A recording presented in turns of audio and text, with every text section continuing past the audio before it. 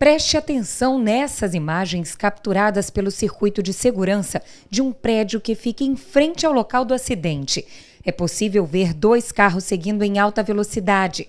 De repente, o gol, onde estavam Ana Carolina Carriço dos Santos, de 18 anos, e o namorado dela, Felipe Braga Vargas, de 22, fica desgovernado, roda na pista e só para ao bater no poste. Agora vejo o carro que seguia logo atrás. Ele também chega a rodar. Os integrantes do carro logo saem, parecem desesperados com a cena. Pessoas se aproximam e acionam o socorro. Os rapazes então voltam para o carro e vão embora.